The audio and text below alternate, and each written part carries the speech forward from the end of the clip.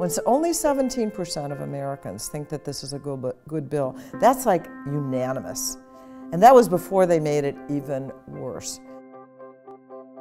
The Republican bill would not only take about 24 million people off of health care, they'd be without health care.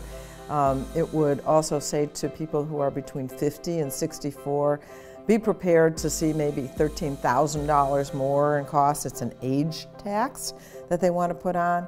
And you know, that also means $600 billion in a tax cut for the, the wealthy, which is, I think, the part that the Republicans really love, love the best. And so this is a, a real problem, I think, for, for the Republicans, and um, they will know it when, they, when their phones start ringing, when the emails start pouring in, when their own voters are communicating to them.